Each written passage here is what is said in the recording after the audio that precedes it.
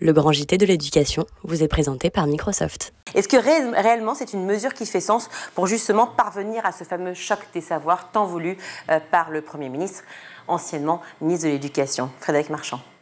bah, Pour le moment, on est beaucoup dans des, discours et dans de la communication. Et pour nous, ce qui est proposé, ça va à l'inverse euh, de ce qui est l'objectif euh, affiché, c'est-à-dire que pour nous c'est plutôt une forme de renoncement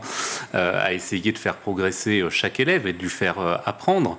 parce que il y a un gros risque dans ce qui est mis en place et qui est dénoncé depuis les annonces et encore plus fortement depuis quelques jours, d'assignation d'un certain nombre d'élèves dans un groupe et de beaucoup de difficultés de par l'organisation réelle,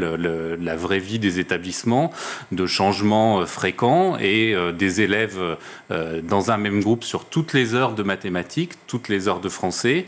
ça veut dire qu'aussi on n'a pas de gens pour tirer la classe vers le haut et qu'on ne fonctionne plus à gérer l'hétérogénéité d'une classe et l'utiliser, une classe en petit effectif, mais que là on conserve de manière assez permanente à notre un groupe d'élèves plutôt faible, même en groupe restreint. Les études ne montrent pas de progrès réel de ces élèves, sauf à avoir des organisations pédagogiques très très particulières. Vous avez regardé le grand JT de l'éducation avec Microsoft.